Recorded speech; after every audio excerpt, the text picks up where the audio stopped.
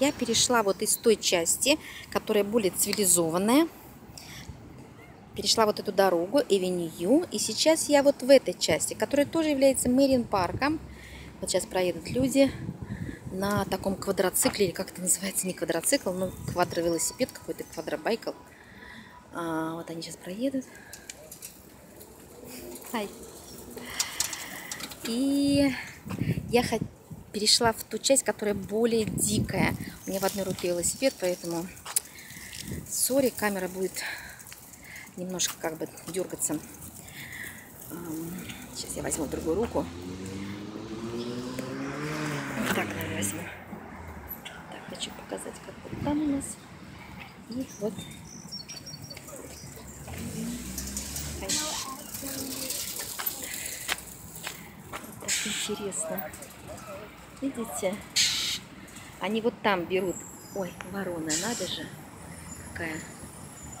Или это не ворона? Нет, это не ворона, это какая-то какая птица. Они вот там, в той части, берут вот эти велосипеды и приходят сюда кататься. Кстати, по-моему, это были как раз ортодоксальные евреи, которых здесь очень много в районе Марин парка. Они здесь много домов.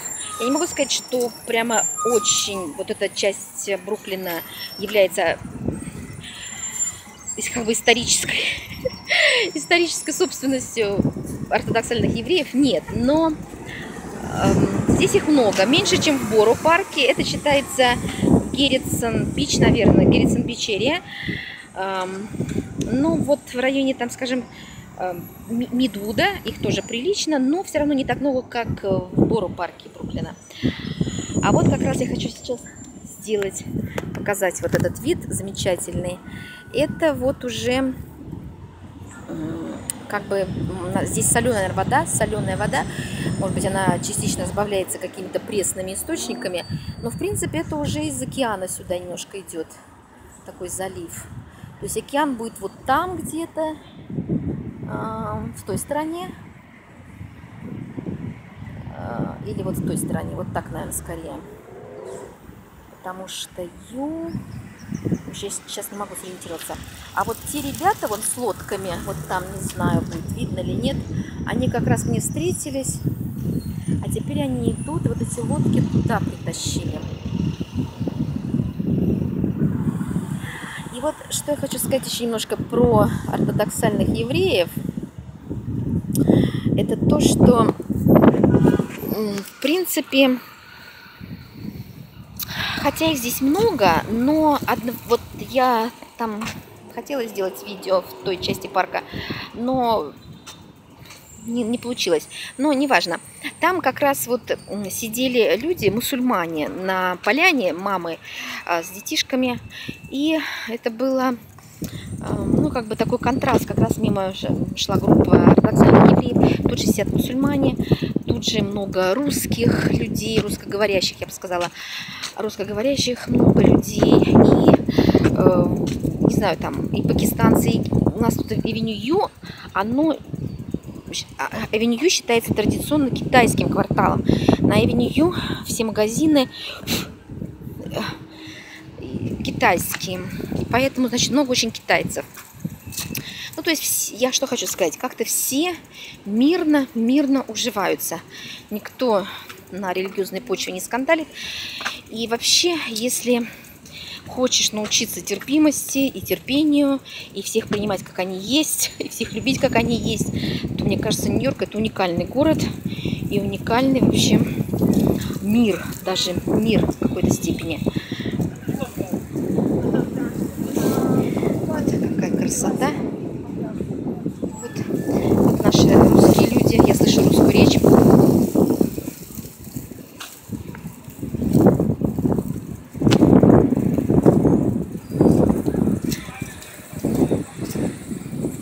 Здесь музей небольшой. Чайка летает.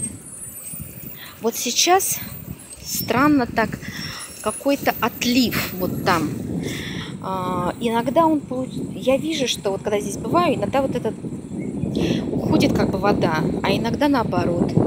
все заполнено, и то место, и затопляется. И вот видите, если камни вот эти черные, это вот до сюда поднимается уровень воды. Просто удивительно, что каком, ну, видимо, так же, как приливы, отливы в океане, потому что здесь, я повторюсь, это все-таки вода, которая идет из океана. Может быть, здесь есть какие-то источники, какие-то родники, они, может быть, и бьют здесь, но не знаю. То, что здесь соленая вода, я думаю, что это сто процентов, потому что она каким-то образом идет от океана здесь. Так, эти товарищи, или это другие, наверное, другие. А может быть, эти же самые. Это не... Да, наверное, это та, это же самая семья. Сначала мальчик их вез, а теперь, видать, папа. Поменялись, и папа их везет. Ну ладно, я иду вперед. Они меня сейчас обгонят, я выступлю дорогу, пусть. Я не спешу. Вот там рентинг. Там вот рентинг велосипедов.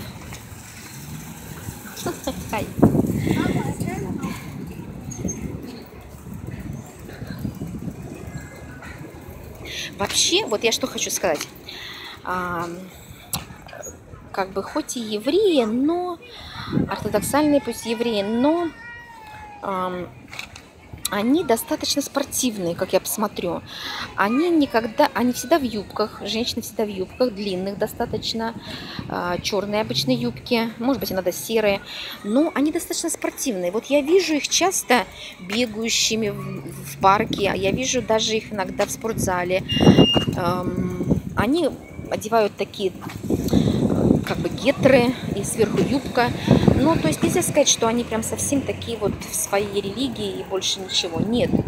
Достаточно, достаточно. Да, у них всегда очень много детей.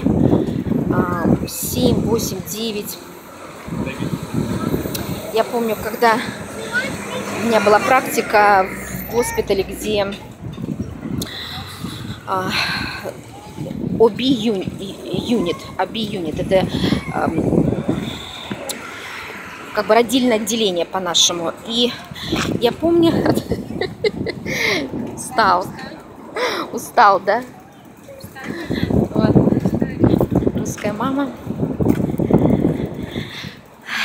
И э, там была мама, вот, э, э, ну, которая родила ребенка. И она вот те два дня, что, которые, два дня, которые положено проводить в госпитале, она сказала, что в это время, за эти два дня не приносите мне, кормите там в нерсере, кормите ребеночка и ко мне, пожалуйста, не приносите.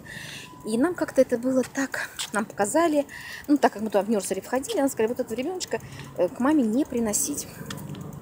Его кормили, за ним ухаживали, но мы как-то были удивлены.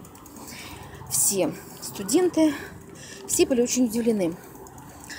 И профессор наша, кстати, замечательная была профессор, очень-очень я ее полюбила.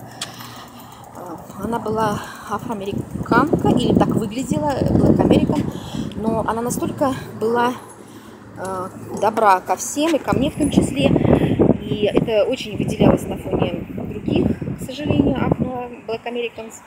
Ну, были, были у нас хорошие профессора, у нас были всякие профессора, и не все были sweet среди белых, и не все были плохие среди э, темнокожих, скажем так.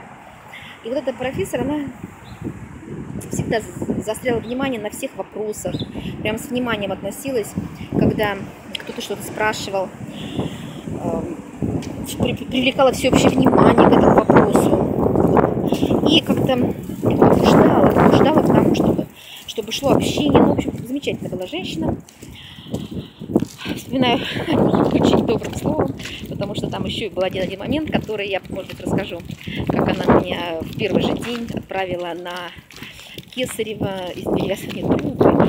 Роды, все, у меня было в первый день участие в этом процессе, пассивное, конечно, пассивное участие, но просто это было настолько желанным для всех студентов, и я оказалась вот в числе этих счастливчиков, которые увидели. Это просто было удивительно. Но я вернусь к вопросу о том, что вот эта вот афро, эм, Jewish, Jewish эм, еврейка, она значит, сказала, что ребеночка ко мне не приносите.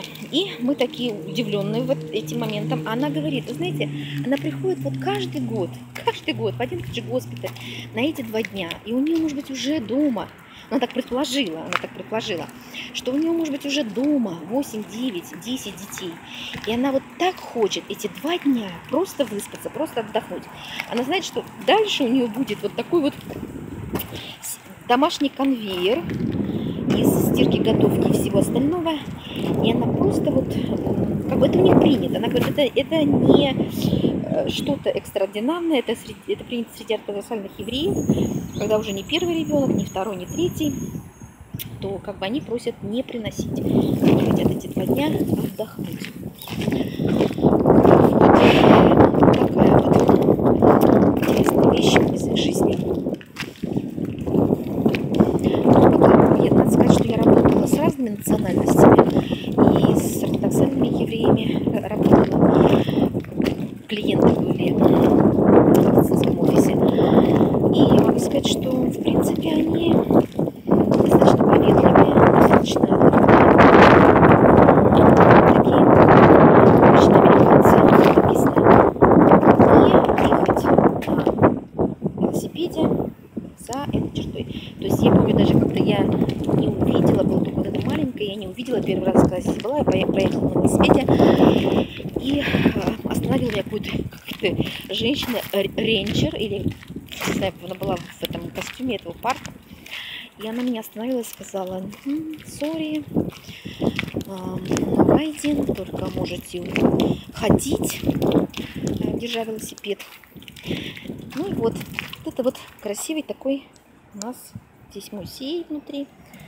Вот, пожалуйста, кто скажет, что вы в Нью-Йорке? Сейчас не очень красивая вода. А, вот из того, из того, что сейчас отлив, вот какие-то камни выступили. Обычно, я просто удивлена сейчас, обычно вот этих э, столбов не видно вообще. Сейчас я подойду, здесь стану. Да, это что-то удивительное. Это что-то удивительное. Я видела здесь отливы, но чтобы так сильно вот этих столбов не видно абсолютно никогда. Было немножечко, но это очень сильно отлив, потому что вода обычно вот до сюда, до самого заборчика. Вот здесь это все закрыто водой. Вот там сейчас уточка. Пожалуйста. Вот видите, мы в Нью-Йорке. У нас тут и петухи, и утки, и канадские гуси. Кого только нету. Вот стип да стип кругом. Вон там на байдарках пытаются, как бы они не напоролись на что-то своим, своим дном. Вот, пожалуйста, люди едут. Они сейчас доедут до открытого океана, наверное. Ну, залива у нас тут, в принципе, как бы не совсем открытый океан, открытый залив. Открытый океан вот там, я не знаю, здесь, наверное, будет не видно. Вот сейчас вот этот вот мост, он идет на Фараковой. И вот там открытый уже океан наступает. А мы немножечко защищены как бы заливом, как бы такое вот строение получилось нашего Кони-Айленда. Там, э, я имею в виду, та часть, которая к океану, она такая, что не очень открытая немножко. Но это, с другой стороны, спасает нас от всяких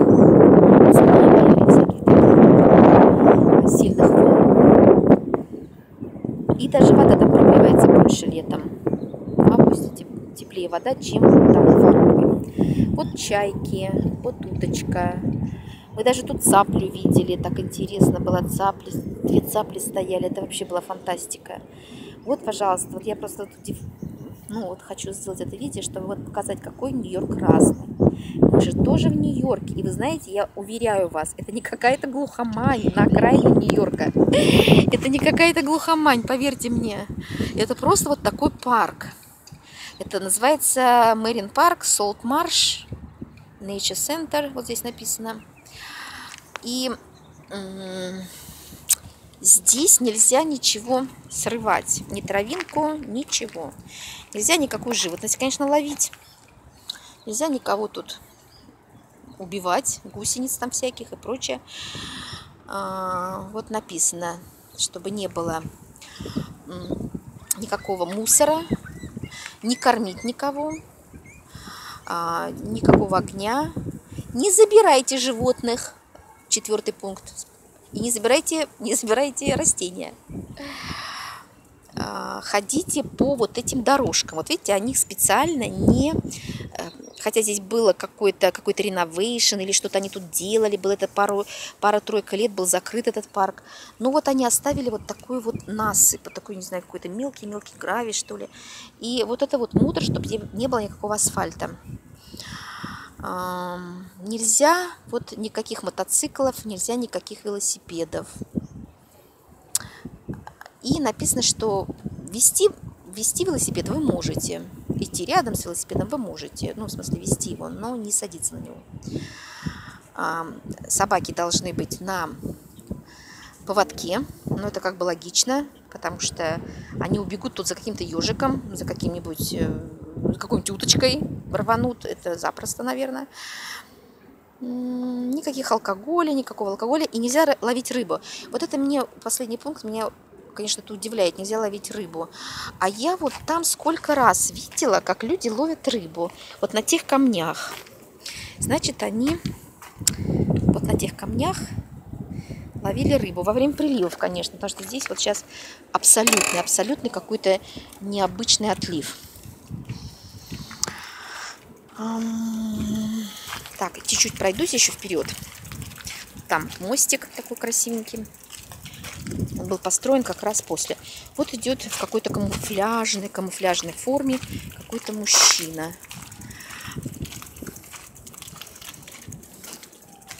Здесь много народу гуляет. Я сделаю вот так вот. Очень красиво. Как-то вот здесь сейчас трава вот эта, она еще такая сухая, это прошлогодняя они потом то ли скашивают здесь, то ли что. И здесь получается такое буйство растительности. Сейчас пахнет здесь немножко как бы такой солью и вот этим как бы болотцем, что ли. Но вообще вот здесь удивительно, удивительно.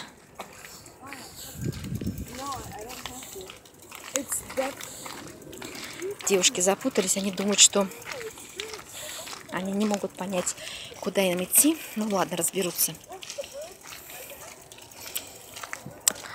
Эм, и вот когда здесь вот эту траву, ее скосят потом, насколько я знаю по предыдущим, это вот осталось с осени. Вот представляете, вот осенью, вот здесь вот эта трава была выше человеческого роста. И здесь начинают цвести летом, осенью, ну какие-то необыкновенные такие полевые, полевые травы получается, полевые совершенно запахи. Запахи такой вот природы.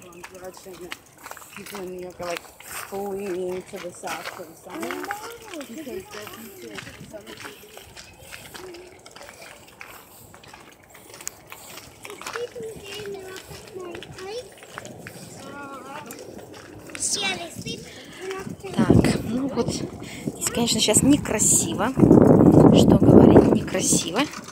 Вот. Но обычно здесь очень красиво. Но когда решила сделать видео, тут почему-то некрасиво. Ну, это ре реалити-шоу. Вот там вот вдали уточки плывут. Они даже не могут сюда забраться. Обычно вот это все закрыто водой. И уточки плавают здесь, поверьте мне. А тут сейчас какая-то грязюка и болото. Ну что делать? Как есть, так есть. Потом, может быть, я сделаю еще видео, когда будет все очень красиво. Вот какой-то прям ручей какой-то. Ой, вот я вижу вдали, вдали там прямо искрится вода. Так красиво, и уточки плывут, но ничего, не достать туда. Вот, идем дальше. Я немножко там пройдусь. Здесь гуляют люди, гуляют. Тут кругом вообще дома. Тут не, нельзя сказать, что это какое-то дикое вот это место. Вот, вот это место удивительно, что его сохранили. Видимо, вот здесь какие-то соленые, такая совершенно песчаная почва. И поэтому...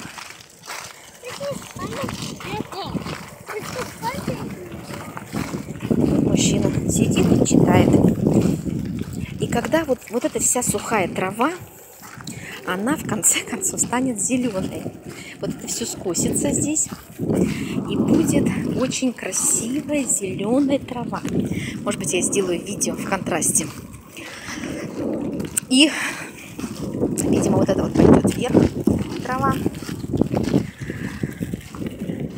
И будут тут какой-то можжевельник, какая-то полынь, запахи такие полынь сто процентов. Потому что я даже вот ну, прекрасно помню, как я тут...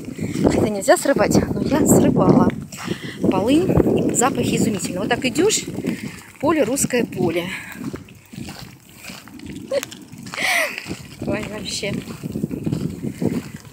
Вот такой он необычный Нью-Йорк. Город контрастов, и так оно и есть. Можешь увидеть что угодно, кого угодно.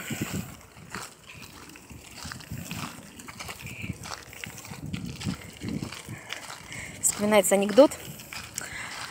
А,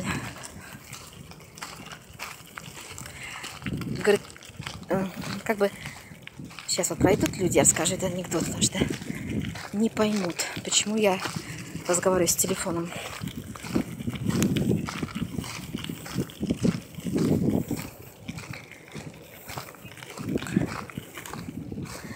Вот это дерево такое интересное. Хм.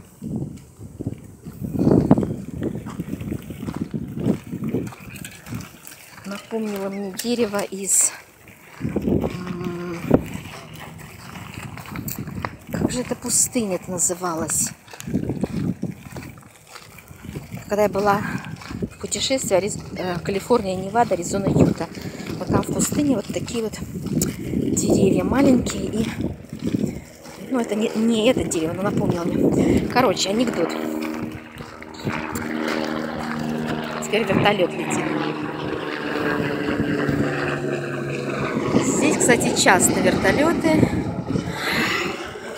Ой, говорит, ну расскажите, вот что это вообще, вот что это за город Нью-Йорк? Что это за город? Ну, говорит, объяснить можно анекдотом напали на Нью-Йорк инопланетяне, какие-то наземные, лодочка тоже, какие-то наземные какие-то наземные существа. В общем, бросают какие-то огненные шары, все взрывается. Э, переворачивают машины, там, откусывают головы людям. В общем, страх и ужас. В Нью-Йорке оказались туристы из других городов Америки или, может быть, из других стран. И они вбегают, один, один из них вбегает в полицейский участок, машет руками и говорит, что, что это происходит, что вы здесь сидите, почему вы не на улице? Что это вообще такое? И устал, усталый такой полицейский отрывает голову свою от отчетов и говорит, это Нью-Йорк. Что вы хотите, это. Вот такой вот. Здесь бывает всякое.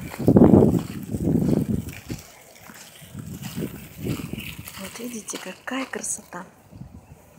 Ну вот хотя и весна, но здесь еще не передают все это таких запахов. Ну что ж, я пройдусь сейчас чуть-чуть и пойду назад. Может быть, там еще сниму.